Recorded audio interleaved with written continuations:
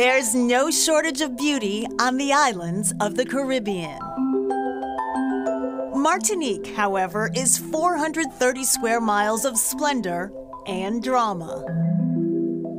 This is an island of contrasts, mountains, cityscapes, rainforests, villages, and of course, beaches, from wild to refined. Bonjour from Martinique. We are in the Caribbean, but we are also in France. Martinique is a region of France, in case you didn't know.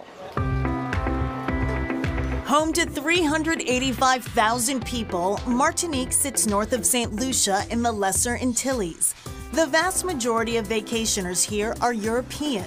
American tourists are relative newcomers. The people, when they arrive here, they describe Martinique as something they've never seen. It's a very colorful island with microclimates. You see, it's very peaceful. Driver and guide Marc Marcial grew up here. The north of the island is more authentic. That's where you will find rivers, waterfalls, rainforest, represent almost 30% of this island.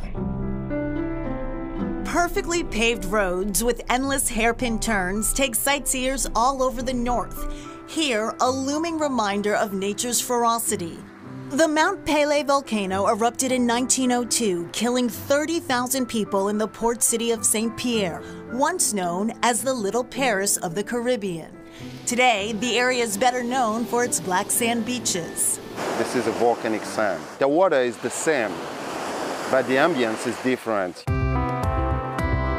different from the flatter, drier south and its unending stretch of white sand beaches. Among the most popular, the crescent-shaped Les Salines. It's very comfortable to swim inside, and you feel the power of the nature. Also in the south, Fort-de-France, the capital, Downtown, a promenade teems with shops and historic buildings. Drive 10 minutes outside of Fort-de-France, however, and discover why Martinique is nicknamed the Isle of Flowers. This is the Balata Botanical Gardens, where there are 3,000 varieties of tropical plant life here from all over the world. It is absolutely gorgeous here. This seven and a half acre garden is part dreamscape, part Jurassic Park. Our guide, Geraldine Rome. Balata Botanical Garden is one of the most visited places here in Martinique. Local people, visitors and cruise passengers love to come here and getting lost in this garden. One favorite perch, this long canopy. Below, tunnels of greenery. Open since 1986, Balata Garden was designed by horticulturalist, landscape designer, and poet Jean-Philippe Thoze. In addition to the flowers are these irresistible creatures, hummingbirds. They're not shy, buzzing around a Creole house that once belonged to Thoze's grandparents. When you come here and you pass the colonial house, you can see them, really colorful. It's one of the main attractions here.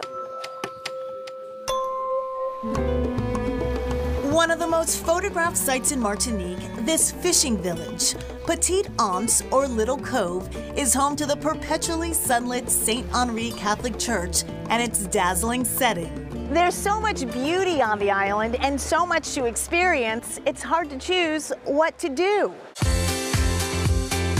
Maybe it's time to try something new, sea bobbing. It's very easy, very, very easy.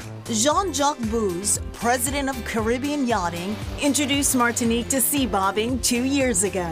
It's simple. Turn on a motorized board, hold on, and go. The red button, it's a slow speed. The green button, it's a fast speed. With the mask, you can see underwater the reef. Swimming like a dolphin, not a bad way to end this Martinique day.